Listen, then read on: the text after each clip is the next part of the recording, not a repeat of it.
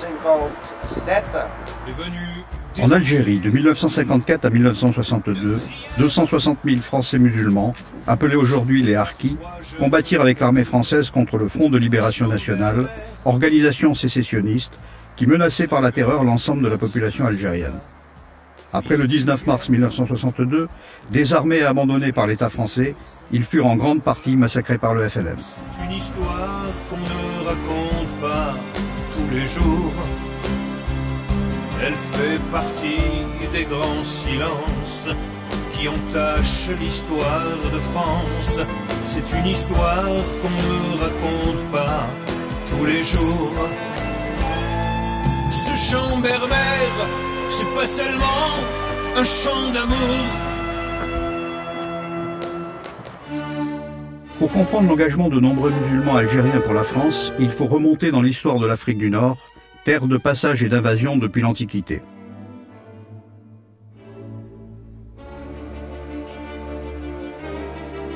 La population la plus ancienne, les Berbères, furent chrétiens durant plus de quatre siècles et compta de nombreux saints et évêques. Ce pays sans nom, selon l'expression d'Émile Gautier, mettra trois millénaires pour qu'un roi de France lui donne son nom actuel, l'Algérie.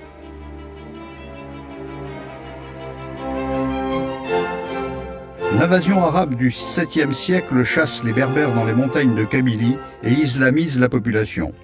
Au XVIe siècle, les Turcs en font une régence qui pratique la piraterie et dont les razzias sur les côtes européennes alimentent son marché aux esclaves. La régence d'Alger règne par la force sur un système féodal dont les chefs, Caïd, Aga, Bachaga, sont au service des Turcs. Les rivalités incessantes entre les tribus et pays voisins empêchent la création d'un État unificateur. L'islam est le seul ciment. Dès le XVe siècle, gênés par la piraterie barbaresque, les États occidentaux vont entreprendre des actions d'intimidation de cette régence pirate et guerrière. Le 14 juin 1830, 30 000 hommes des troupes du roi Charles X débarquent à Sidi Ferruche et rentrent dans Alger le 5 juillet. Dès les premiers combats, des chefs arabes et berbères se mettent au service du nouveau conquérant pour chasser l'occupant turc. Les Arabes guerriers sont attirés par la déjà très prestigieuse armée d'Afrique, dont les premiers régiments de Zouaves et Spahi, avec à leur tête l'intrépide Youssouf, s'illustrent dans la conquête aux côtés des tribus ralliées, comme celle de l'Aga Ben Ismaël, ennemi acharné de l'émir Abdelkader. Une armée d'Afrique qui va devenir inséparable de l'histoire de l'Algérie française. En 1837, le roi Louis-Philippe officialise le mot Algérie. L'armée française s'est imposée par la force, seule comprise par la population, mais aussi par le respect de l'islam et des coutumes locales. En 1848, la Seconde République fait de l'Algérie trois départements, dont la conquête se termine en 1857 par la prise de la Kabylie, jamais occupée par les Arabes. L'émir Abdelkader devient un fidèle ami de la France. Dès 1855, Napoléon III utilise les troupes devenues légendaires de l'armée d'Afrique en Italie, en Crimée, au Mexique, où elles se couvrent de gloire. À la veille de 1870, plus de 50 000 Algériens ont déjà servi sous le drapeau français. En 1870, l'armée d'Afrique s'illustre de nouveau. Après la défaite, elle contribue aux conquêtes coloniales qui relèvent le prestige de la France. Turcos, Spahi et Zouaves deviennent les enfants chéris des Français.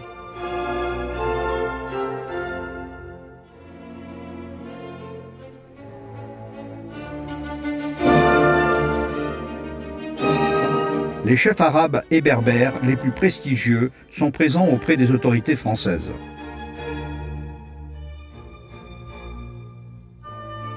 La guerre 14-18 renforce cette image d'une armée d'Afrique invaincue et invincible. La forte participation des Français d'Algérie fait que rares sont les grandes familles arabes berbères et européennes qui ne comptent pas un mort pour la France ou un ancien combattant couvert de médailles. Ce baptême du sang s'illustre dans les villes et villages d'Algérie, comme en métropole, par l'érection de monuments où s'entremêlent les noms européens juifs, arabes et berbères. Ces drapeaux sont parmi les plus décorés des régiments français. La guerre, l'école, le commerce, l'agriculture ont multiplié les échanges et liens entre communautés. Si le communisme naissant séduit quelques intellectuels, pour la nouvelle élite locale formée par la guerre et par l'école française, l'islam n'apparaît pas comme un obstacle à une intégration réussie. la découverte des idéologies rivales occidentales et des luttes politiciennes en métropole ouvre cependant aux plus ambitieux des espérances nouvelles.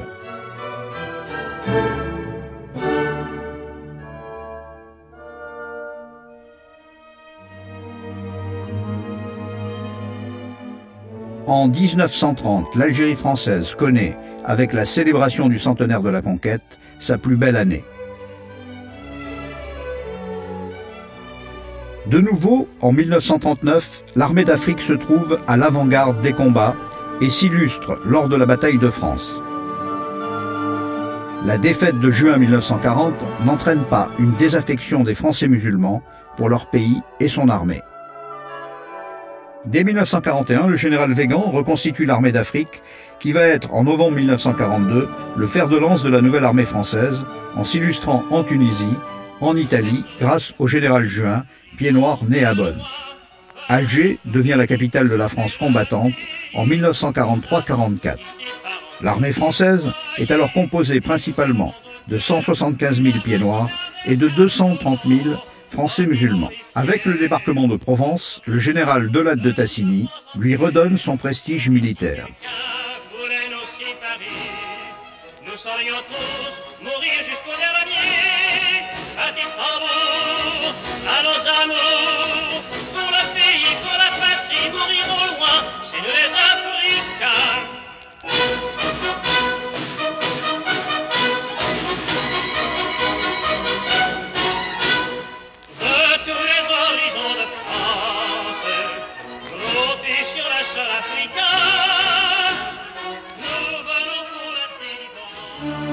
Dès 1945, l'armée d'Afrique va défendre en Indochine l'Empire français contre le communisme.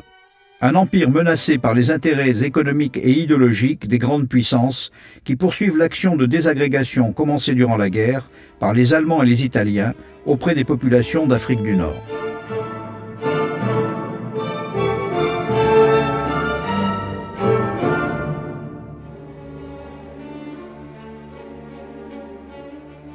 Le 8 mai 1945, l'échec de la tentative de révolte généralisée à Sétif limite les espérances de voir un soulèvement populaire des Algériens contre la France. Les partisans de l'indépendance de l'Algérie se divisent entre la prise du pouvoir par la violence et par la voie démocratique. En moins d'un siècle, malgré trois guerres et six régimes politiques en métropole, dix ans seulement après la chute du nazisme, l'Algérie française est un pays moderne, contrasté, où vivent en paix dans un respect mutuel les trois grandes cultures et religions du bassin méditerranéen et où les crimes de sang entre communautés sont insignifiants.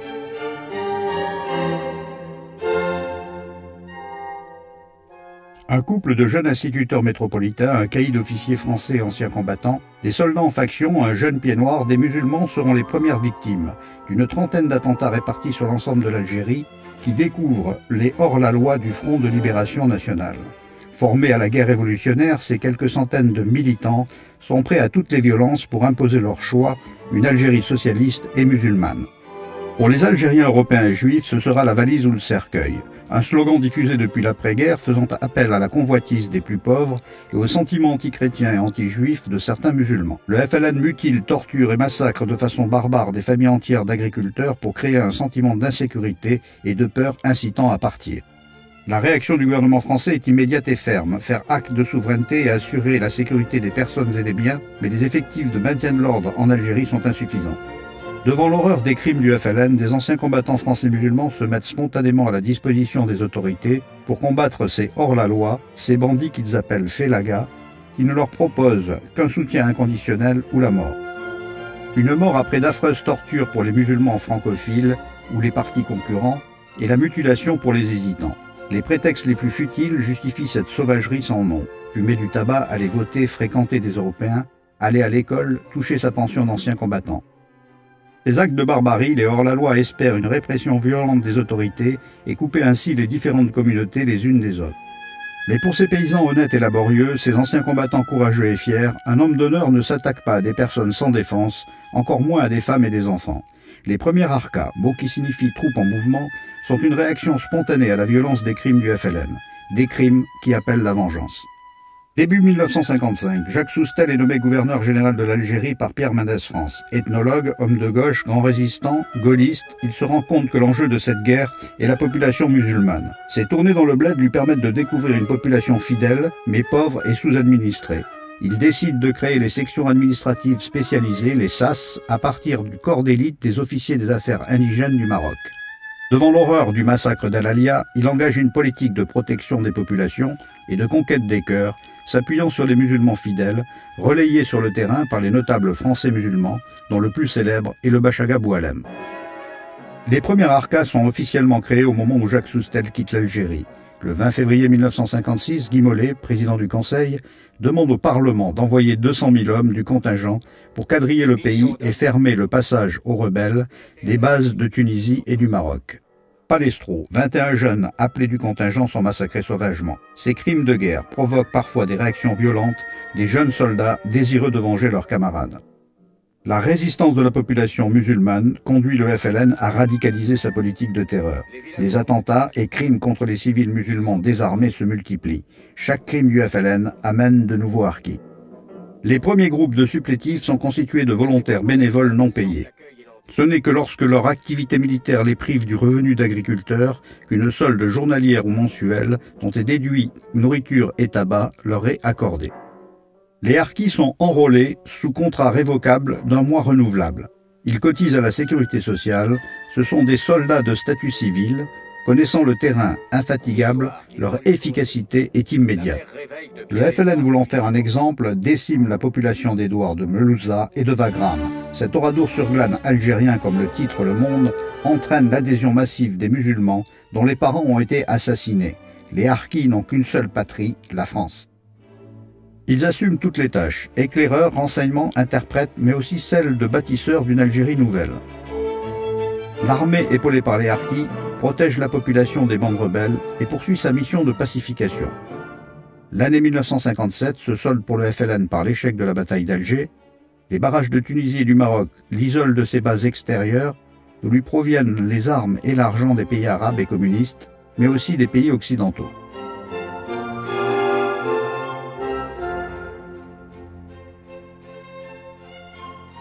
Alors que le FLN emploie la même terreur qu'en Algérie, les porteurs de valises collectent des fonds. Pour masquer leurs crimes, des intellectuels lancent une campagne contre l'armée française accusée de torture. 4000 Français musulmans seront en France victimes du FLN.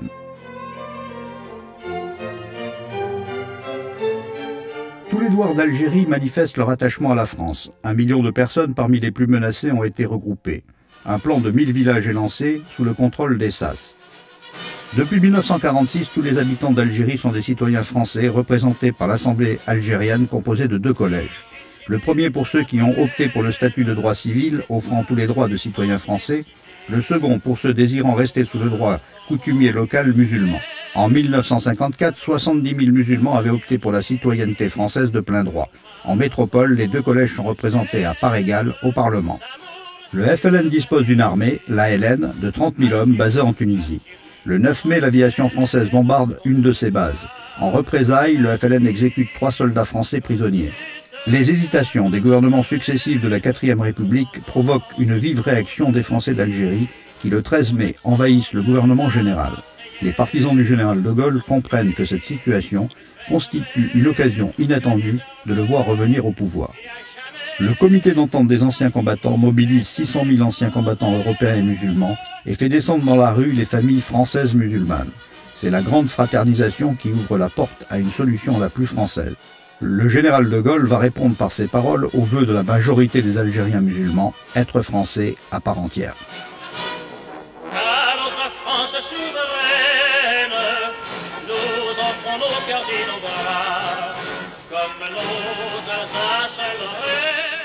Les harkis sont à l'honneur. Déjà en 1957, ils ont défilé à Paris sur les Champs-Élysées. Le mot harki englobe aujourd'hui les harkis proprement dits, leurs veuves combattantes, les groupes d'autodéfense, les mochasnis qui protègent les SAS, les GMS groupes mobiles de sécurité, mais aussi les militaires d'actifs, les appelés et les engagés volontaires de l'armée française. Au total, plus de 200 000 hommes.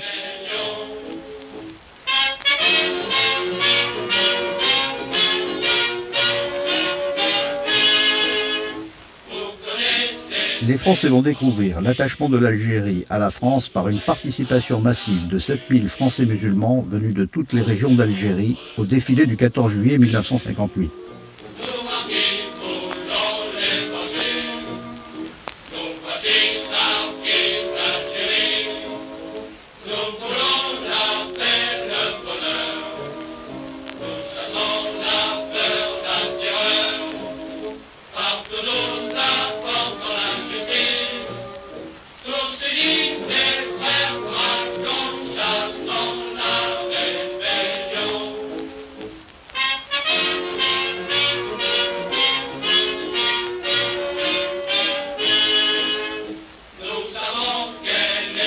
En septembre, 10 millions de Français à part entière d'Algérie votent la constitution de la Ve République.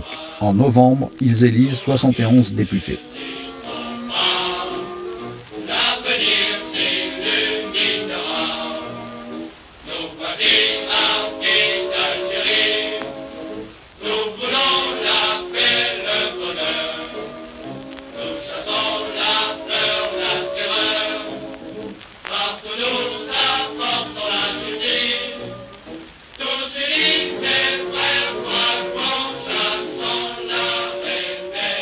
En un mois, l'armée a organisé cette démonstration pacifique qui fait aussi découvrir à ces jeunes Français d'Algérie la capitale de la France métropolitaine.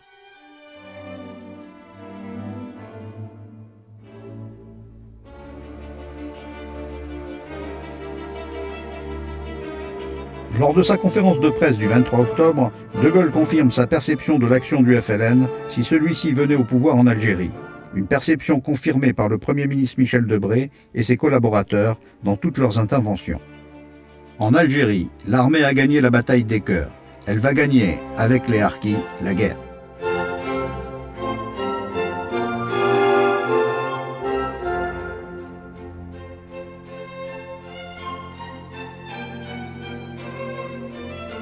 De Gaulle ordonne à l'armée d'en finir avec la rébellion. Il accorde un effectif supplémentaire de 60 000 harkis au général Chal, qui forment des commandos de chasse constitués en partie d'anciens rebelles ralliés d'une redoutable efficacité contre le FLN. Les maquis disparaissent et une opération d'intoxication, la Bleuite, provoque une sanglante purge interne de plus de 10 000 hommes au sein de la LN. De Gaulle vient décorer lui-même les hommes de Bija. Dans une conférence de presse, De Gaulle annonce une évolution radicale de sa vision du problème algérien en demandant aux Français d'Algérie de choisir entre la sécession, l'association ou la francisation. Un référendum permettra de connaître le choix de tous les Français. De Gaulle entreprend de nouveau une tournée en Algérie auprès de l'armée et des représentants algériens élus en 1958. Ceux-ci lui expriment leur incompréhension. Cette nouvelle politique inquiète les Français musulmans fidèles, qui sont cinq fois plus nombreux que les partisans de l'indépendance. Les raisons de ce changement radical de politique algérienne, De Gaulle s'en expliquera dans ses mémoires. Âgé de 70 ans, il n'avait que peu de temps devant lui pour marquer l'histoire. La réconciliation franco-allemande, la construction de l'Europe, l'élévation du niveau de vie en France, la réalisation de grands projets prestigieux n'étaient possibles qu'en libérant la France du boulet financier des colonies et de l'Algérie. En outre, la démographie galopante algérienne risquait de voir la France métropolitaine envahie.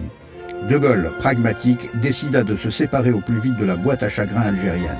Une partie du milieu d'affaires et de l'opinion était déjà favorable à cette solution. Le général Massu déclare à la presse ne plus comprendre la politique algérienne de De Gaulle. Il est destitué de ses fonctions. Très aimé des Algérois, ceux-ci se soulèvent. C'est la semaine des barricades. Harkis et notables musulmans rejoignent les insurgés. Il y a alors en Algérie 160 000 harkis, auxquels il faut ajouter les élus locaux, les fonctionnaires, les anciens combattants, soit 500 000 chefs de famille représentant 2 500 000 personnes engagées pour et par la France. De Gaulle brisera cette première résistance par le verbe et l'action. Il ordonne aux forces de l'ordre de donner l'assaut des barricades. C'est le drame. Des Français tirent sur d'autres Français. Pour mener en position de force les négociations avec le FLN, le 30 janvier 1960, De Gaulle donne l'ordre de liquider ce qui reste de la force rebelle. Fin 1960, en Algérie, il y a moins de 9000 combattants de la LN. Faire face à la résistance des Français d'Algérie, De Gaulle crée le comité des affaires algériennes qu'il dirige personnellement. Il est composé de Pierre Mesmer, Alain Perfit, Louis qui seront en charge d'exécuter ses ordres. Les premières négociations secrètes avec le FLN sont engagées par Georges Pompidou. En juin 1960, les pourparlers avec le FLN sont un échec. À cette date, 2000 des 4000 postes militaires sont déjà abandonnés. En reprenant le pouvoir en Algérie, les généraux Sanan, Chal, Jou et Zeller pensent pouvoir faire revenir De Gaulle à la politique du 13 mai. Refusant de tirer sur l'armée restée légaliste, ce sera l'échec. Les associations favorables à l'Algérie française sont interdites, leurs membres sont arrêtés et internés. Devant les difficultés rencontrées, De Gaulle demande à Alain Perfit de publier des articles dans la presse, laissant croire qu'il est favorable à la partition de l'Algérie, une approche qui inquiète à la fois le FLN et l'OAS. Celui-ci publie, à la demande du général de Gaulle, ses réflexions dans l'ouvrage Faut-il partager l'Algérie? Page 109 y est présenté le plan qui sera intégralement appliqué pour mener l'Algérie à l'indépendance. L'OAS règne alors sur les grandes villes d'Algérie.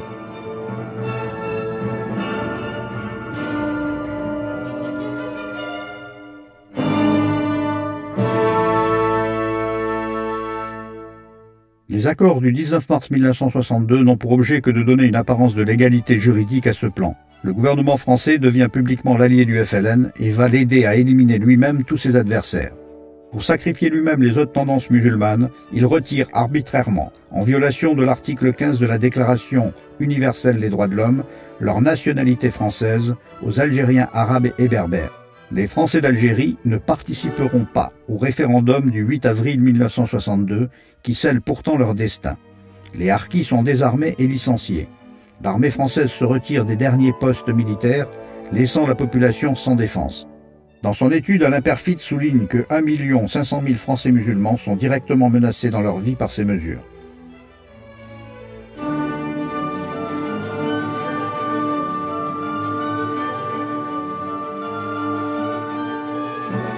Des garanties sont données aux harkis.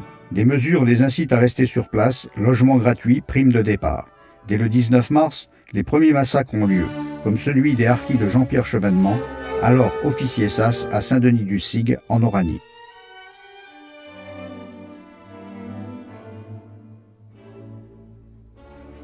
La répression de toute opposition, même pacifique, suffira pour provoquer l'évacuation de la communauté européenne en métropole. Le 26 mars, Christian Fouché donne l'ordre de tirer sur les manifestants, venus témoigner leur solidarité aux 70 000 habitants du quartier de Bab bouclés et affamés depuis quatre jours. C'est le massacre de la rue d'Isly.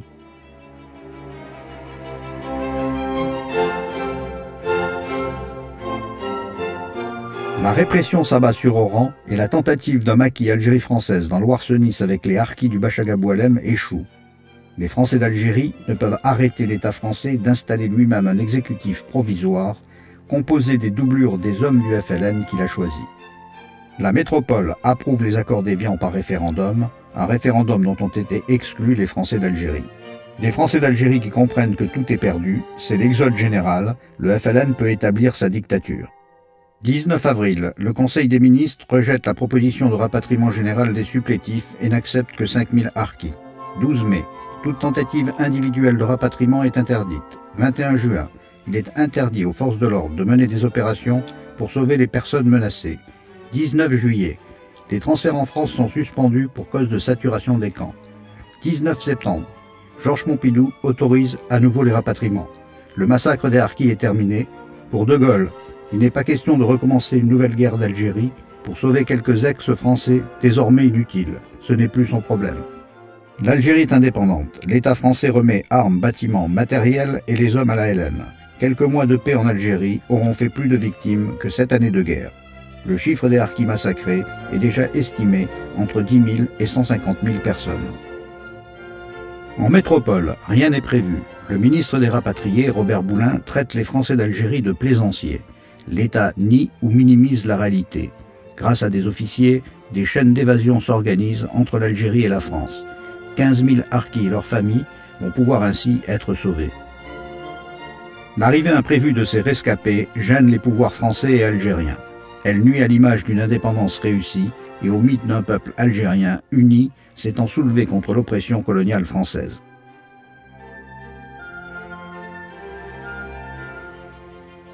Les harkis sont isolés dans des camps en attendant leur disparition par voie d'extinction naturelle.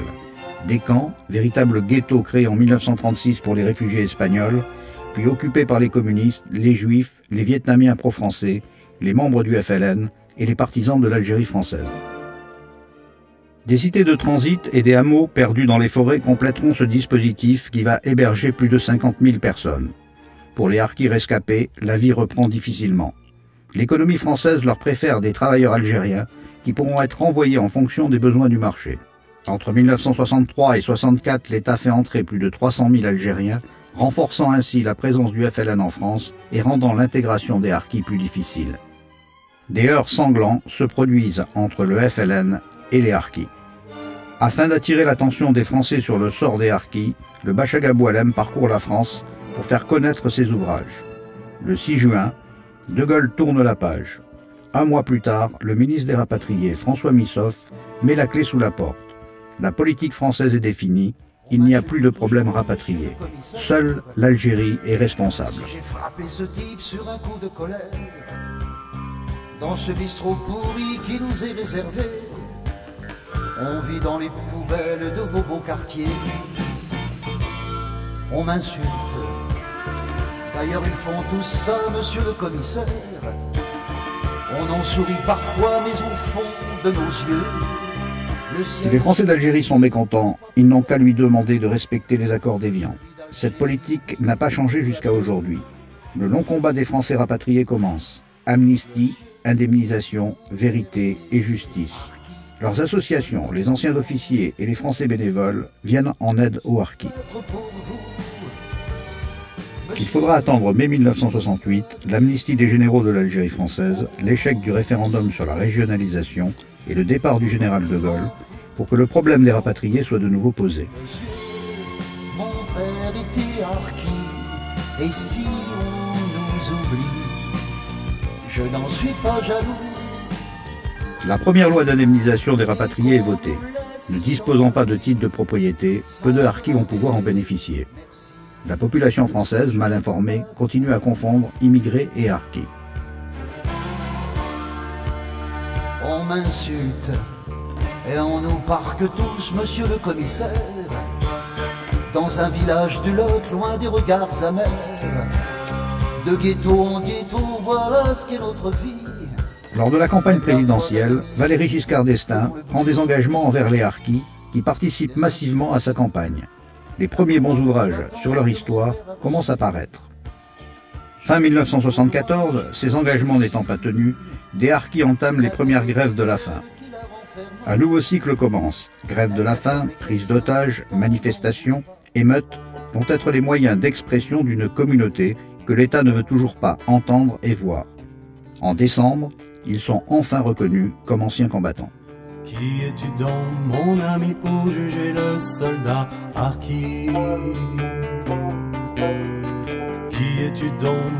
Les mesures concrètes tardent, le désespoir est à son comble, le gouvernement n'entend pas céder. Les associations organisent réunions, rencontres, congrès et conférences de presse. La communauté Harki prend conscience de sa force. En juin, éclate à Saint-Maurice-l'Ardoise la première révolte armée des Harkis et de leurs enfants qui prennent en otage les responsables du camp.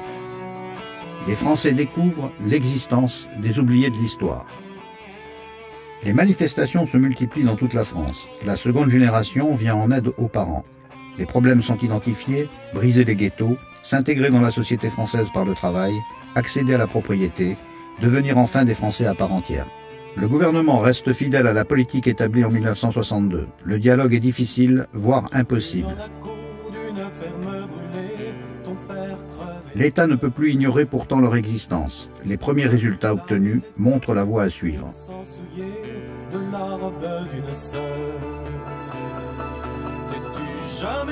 En France, les drames se poursuivent. L'État cherche en priorité à normaliser ses relations économiques avec l'Algérie, où des centaines de prisonniers harkis sont abandonnés à leur sort.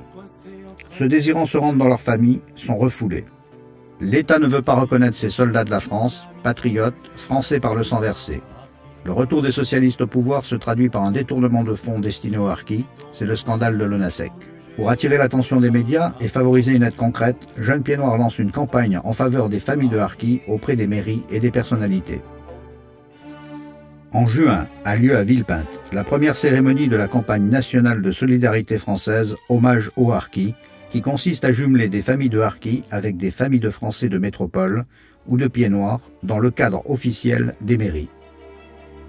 L'adhésion à cette campagne d'André Santini, secrétaire d'État aux rapatriés, sa participation à la longue marche de Rouen à Monte Cassino du Harki Brahim Sadouni, ses multiples rencontres avec les Harkis vont donner une nouvelle dynamique à la communauté.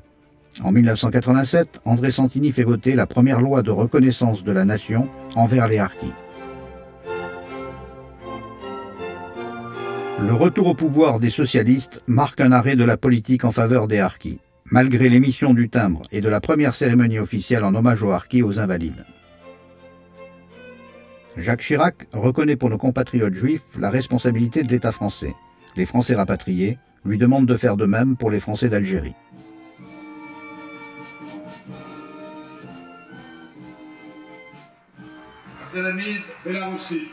Au nom de la République française, nous vous faisons chevalier de la Légion d'honneur.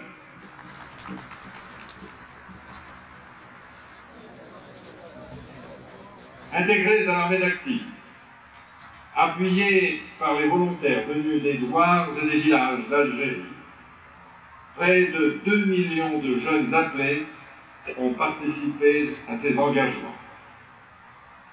Soldats de métier, jeunes du contingent, français musulmans, ont défendu côte à côte les mêmes idéaux, ceux de la République et de la liberté. Hommage officiel au Harki, mais les manifestations continuent. En 1997 sont détruits les derniers camps et hameaux de forestage comme celui de Jouques en Provence. Il aura fallu 35 ans d'attente et d'action, les lois André Santini de 1987 et Romani de juin 1994 pour voir, 14 ans après l'engagement de Maurice Benassayag en 1983, les dernières familles de Harki quitter leur ghetto et accéder enfin, pour beaucoup, à la propriété. Deux générations de Harki ont été sacrifiées. Les problèmes restent, chômage de la deuxième génération, manque de considération, insultes publiques. Ceci malgré les multiples déclarations de personnalités de toutes tendances.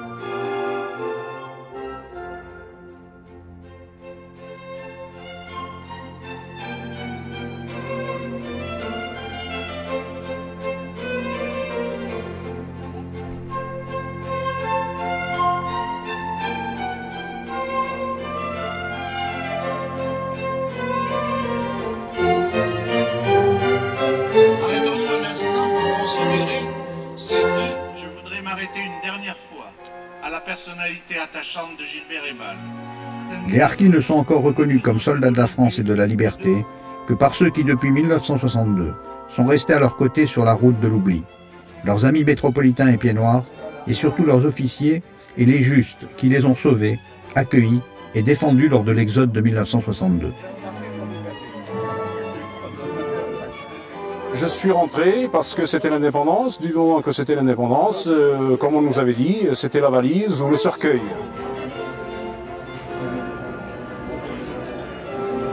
La communauté des Français rapatriés rend hommage à l'un de ses plus éminents défenseurs, le professeur Maurice Allais. Il ne peut s'agir aujourd'hui que de faire reconnaître la responsabilité de l'État français dans l'abandon presque total par la France d'au moins quelques 150 000 musulmans pro-français ayant combattu à nos côtés, et cela en violation des engagements sur l'honneur, sans cesse réitérés à de multiples reprises, de ne jamais les abandonner et de les protéger. Mon livre L'Algérie des viands dont les dernières lignes ont été écrites le dimanche 27 mai 1962, n'a pu paraître que le 6 juillet, après la proclamation de l'indépendance de l'Algérie le 3 juillet. Un crime a été commis au nom de la France, contrairement aux engagements sur l'honneur, sans cesse réitérés depuis la libération en 1945 par tous les gouvernements français. Des centaines de milliers de musulmans pro-français ont été livrés sans garantie réelle à l'arbitraire. Des dizaines de milliers d'entre eux ont péri après avoir subi d'horribles sévices d'une sauvagerie barbare et inhumaine, à vrai dire presque inimaginable. Ces harkis ont été délibérément abandonnés sans défense, après avoir été désarmés dans des conditions inadmissibles. Et d'odieuses instructions ont prescrit de leur refuser toute aide pour passer en France et échapper avec leur famille à un atroce calvaire.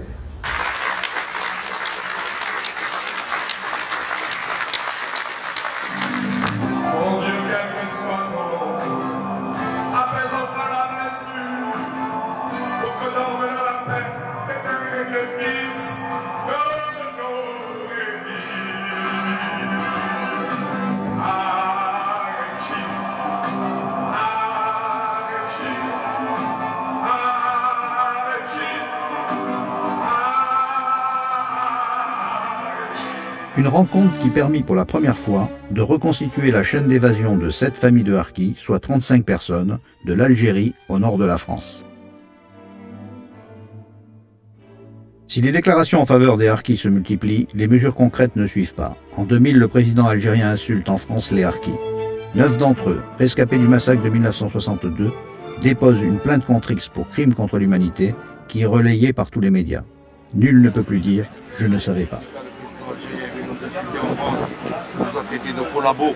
Si la France ne nous avait pas désarmés, ne nous avait pas abandonnés, le FLN ne nous aurait pas massacrés, ne nous aurait pas tués. Pas un ghetto, madame. Euh, je vais employer un mot.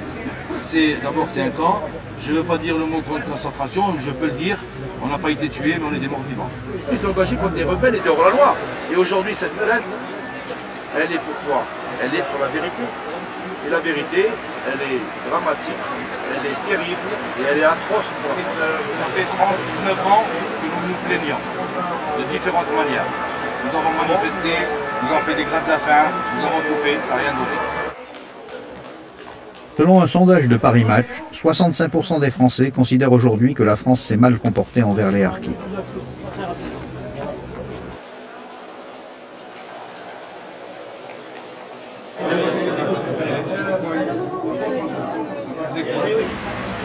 Nous avons euh, des témoignages qui sont tout précis, qui sont euh, également concordants. La décision d'instituer une journée nationale en hommage aux harkis marque une nouvelle étape vers la reconnaissance des faits et des responsabilités.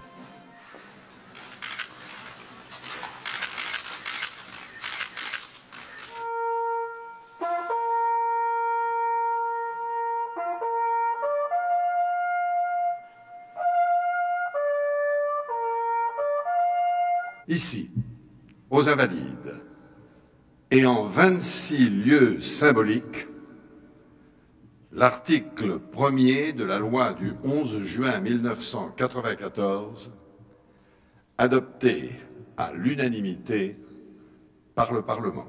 Honneur aux combattants morts pour la France, honneur à toutes celles et à tous ceux qui ont mérité par leur fidélité et leur sacrifice la reconnaissance de la patrie.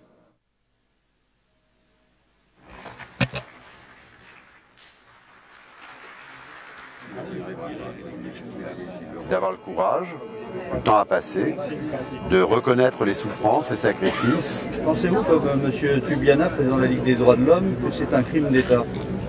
Je, je ne suis ni sur le terrain de l'histoire au sens de l'historien, je ne suis pas historien, je suis un élu du suffrage universel. Donc élu du suffrage universel, je dois prendre en compte toutes les composantes de la société française. Je pense que nous avions un devoir de, là aussi, un, un, un devoir de reconnaissance à l'égard de cette population de supplétifs qui nous ont tant aidés dans nos problèmes euh, algériens. Ce qui s'est produit était tellement inhumain qu'il était difficilement prévisible. Voilà, exactement.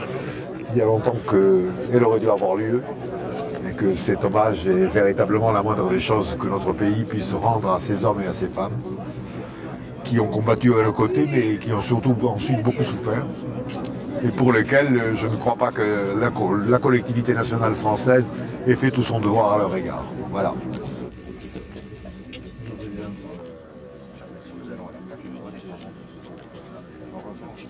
Moi, je suis pied noir du Maroc. Et je sais ce que ça représente, je sais ce qu'ils ont souffert. euh, ce que leur enfant euh, souffre encore. Et je crois que c'est très, très, important qu'on restitue cette mémoire et que sur un plan symbolique, la nation dise euh, merci. Tout le monde est désormais informé de la réalité du crime d'État du 19 mars 1962. Les déclarations en faveur des harkis, de personnalités les plus inattendues, se succèdent. Les harkis, vieillissants, disparaissent. En 2001, ils ne sont plus que 9000 sur les 20 000 chefs de famille rescapés du massacre de 1962.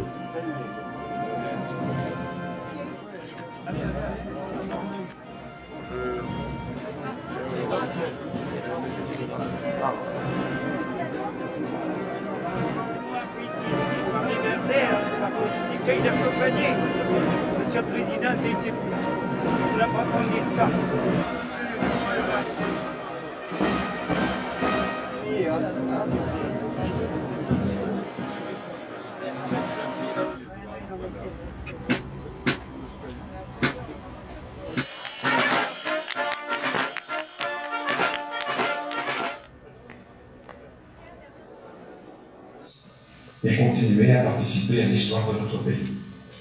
Ce choix, ils le renouvellent, eux et leurs enfants, se montrent de plus en plus sensibles à l'histoire des harkis, aux tragédies qui ont marqué leur destin et le devoir que la République garde envers eux. Au nom de l'ensemble de nos concitoyens, je suis heureux d'adresser aux harkis et à leurs familles ce message solennel de respect, d'amitié et de reconnaissance. Pourtant, les socialistes veulent encore imposer la date du 19 mars 62. Nous avons d'ailleurs porté plainte, non pas contre l'État français, contre la France, parce que nous ne sommes pas, nous attaquons pas la France, nous ne sommes pas des terroristes, mais contre le gouvernement de l'époque. Si aujourd'hui les députés votent le 19 mars contre fin de la guerre d'Algérie, c'est insulter la communauté harki, c'est insulter les morts, c'est mépriser tous, les morts qu'il y a eu, aussi bien les 150 000 harkis, parce qu'il y a eu véritablement 150 000 harkis qui ont été massacrés, les 25 000 pieds noirs qui ont disparu, mais aussi des soldats français qui sont morts après cette date. Que tout le monde a la même arme que les autres, c'est-à-dire le vote, le droit de vote. Et le vote, il faut que chacun, chacun sanctionne les députés qui voteront cette loi infâme. Chaque élection est l'occasion d'enregistrer les engagements des uns et des autres. Colloques, congrès, réunions avec les partis politiques se succèdent. Une fois pour tout, quand on tire le hein, pourquoi Sait pas nous qu'on a taillé la frontière qui nous a Ancien harki européen, comme moi, pareil. Et les oubliés de l'histoire. Si les harkis de la première génération disparaissent, les problèmes restent. Les deuxième et troisième générations prennent le relais. Une bonne fois pour toutes, c'est qu'à un moment donné, les responsables de ce pays, les responsables politiques de quel bord qu'ils soient, prennent leurs responsabilités vis-à-vis d'une communauté sacrifiée. La réélection de Jacques Chirac est marquée par le projet de loi sur la reconnaissance de la nation en faveur des Français rapatriés, dont l'étude à l'Assemblée nationale débute dès juin 2003. Il est temps de leur rendre leur histoire partie intégrante de notre histoire nationale. Les harkis ont hautement mérité l'hommage qui leur est rendu aujourd'hui par la patrie. Honneur à tous ceux qui se sont engagés pour la France. Les interventions des députés et sénateurs font apparaître que la première des attentes des harkis et de leurs familles est la reconnaissance de la responsabilité de l'État français dans leur abandon et leur massacre.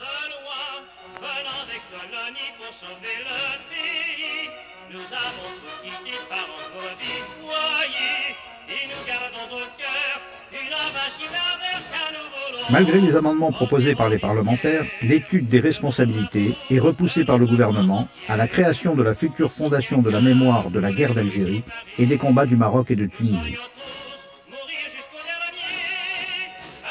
Le 5 décembre a lieu l'inauguration du mémorial national en mémoire des victimes civiles et militaires de la guerre d'Algérie et des combats du Maroc et de Tunisie.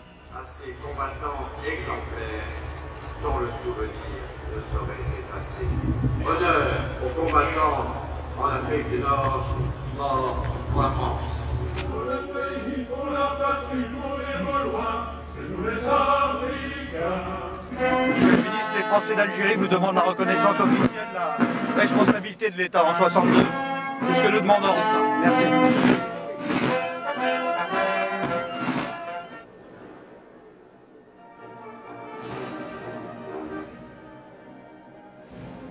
Les contacts directs avec les ministres et les représentants de l'État, aussi bien lors de rencontres associatives que d'événements publics, sont l'occasion de rappeler l'histoire réelle et les sacrifices pour la France des combattants français musulmans et de leurs familles depuis 1830 à aujourd'hui.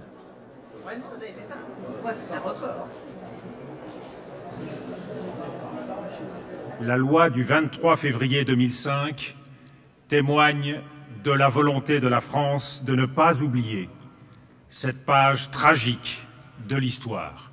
La reconnaissance de la nation est désormais marquée dans la pierre. La politique de l'État ne change pas. Temporiser, gagner du temps. Pourquoi, en 1962, en général, l'armée française a désarmé l'Arabie Pourquoi? Pourquoi les abandonner au massacre du FNL et de la Védicte populaire Nous, on veut savoir pourquoi. Pourquoi il y a eu 150 000 harkis qui étaient des Français puisque nous avons eu tous la nationalité recollective, on reconnaît qu'on a été des Français. Des Français ont été massacrés sans que la France ne lève le petit doigt. Oui, c'est un véritable génocide.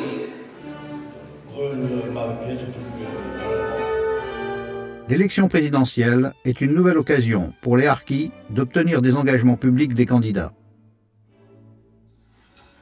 Je veux d'abord rendre hommage aux soldats que vous fûtes, à des soldats qui ont combattu avec vaillance et courage aux côtés de l'armée française contre la rébellion indépendantiste de 54 à 62. Vous êtes plus de 200 000 à avoir pris les armes pour la République et pour la France, pour défendre vos terres et pour protéger vos familles. Vous les Harkis, vous avez perpétué la mémoire de ces soldats. Je salue l'initiative prise par le président de la République, voici maintenant six ans, d'instaurer la journée du 25 septembre comme journée d'hommage national aux Harkis. Ne sacrifions pas une nouvelle fois les Harkis. Si je suis élu président de la République, je veux reconnaître officiellement la responsabilité de la France dans l'abandon et le massacre de Harkis et d'autres milliers de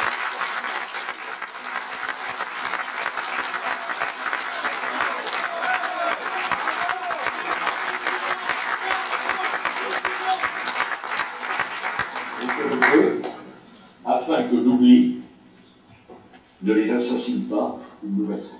Alors aujourd'hui, et j'en terminerai par là, le mot harki doit être un terme de fierté et de respect. Harki, un terme honoré par l'ensemble du Être harki, cela doit pouvoir dire, et je le dis à tous les Français, être harki, cela veut dire je suis français par le choix et par le sang. L'engagement de cette reconnaissance n'est-il qu'une erreur de dossier, rouge au lieu de jaune, comme l'affirme l'hebdomadaire Le Point du 3 juin 2010 Les engagements se suivent, le temps passe, il ne reste plus que 6000 harkis de la première génération.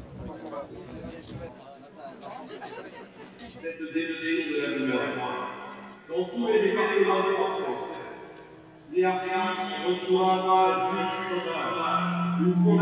la mémoire combats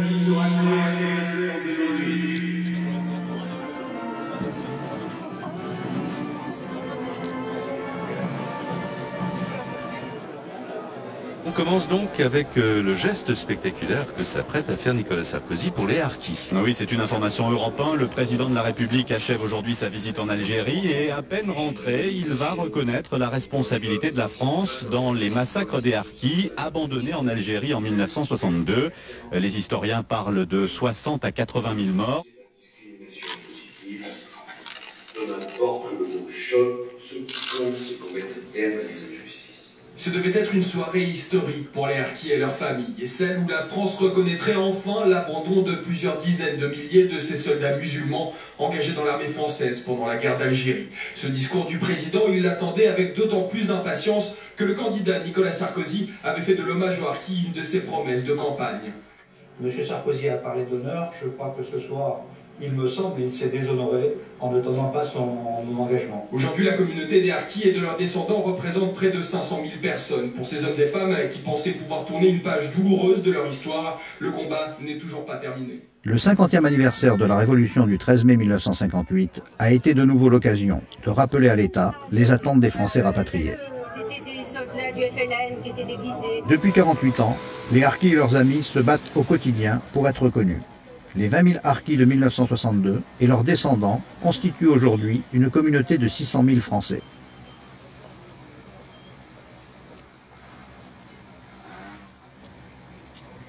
Les enfants et petits-enfants remplacent les pères disparus. Le mot harki est devenu transmissible. Il veut dire courage, fierté et honneur.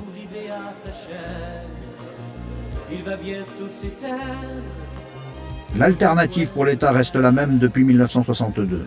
Poursuivre sa politique d'une histoire officielle menteuse ou reconnaître l'histoire secrète honteuse et assumer, au nom de la continuité de l'État, ses responsabilités. Vous avez le sentiment d'avoir été trahi au fond On est trahi, ça je dis franchement, on est trahi.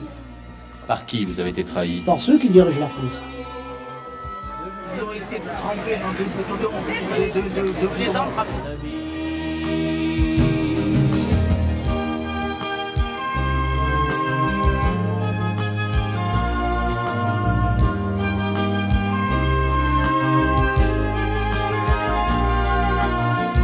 avant qu'il ne parte, s'il vous plaît, dès demain, n'oubliez surtout pas de lui tendre la main. C'est à cause de vous qu'il va mourir ici. Ne l'oubliez jamais, le harki, notre ami.